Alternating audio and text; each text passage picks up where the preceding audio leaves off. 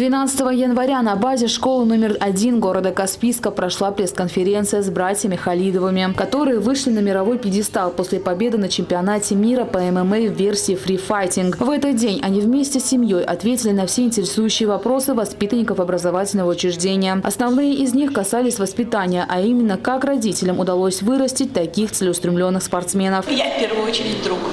У меня совсем другие отношения с семьей а папа у нас более строгий. Я всегда бываю на стороне детей, а, всегда пытаюсь найти общий язык, пытаюсь как-то помочь в любых ситуациях, а папа нет. У папы всегда кнут. Папа у нас очень строгий. А традиции семьи – это в первую очередь уважать старших. Это просто табу нашей семьи. Отметим, что старший брат Ибрагим стал лучшим в мире во второй раз. Младший же Хаджимурат становится обладателем золотой медали в пятый раз. Как отмечает семья, таких успехов ребятам удалось добиться благодаря упорному труду. Утренняя пробежка в 5 утра, потом э, школа, дом и вечерняя тренировка. А летом все тяжелее. Утренняя тренировка, потом на тренировке идет утренняя пробежка, а оттуда сразу на тренировку.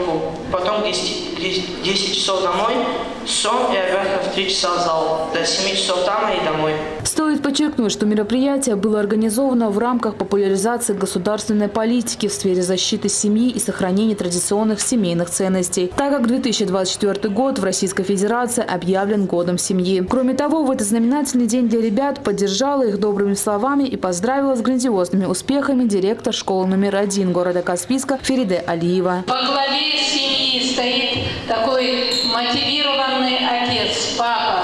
Вам хочу выразить огромную благодарность за то, что вы сегодня нашли время, пришли в школу открыть год семьи и заодно рассказать о своих детях, о своей замечательной семье. Я вам желаю дальнейших успехов, дальнейших побед, а мы будем поддерживать наших спортсменов и вашу семью. Завершилось мероприятие совместным фото с воспитанниками образовательного учреждения.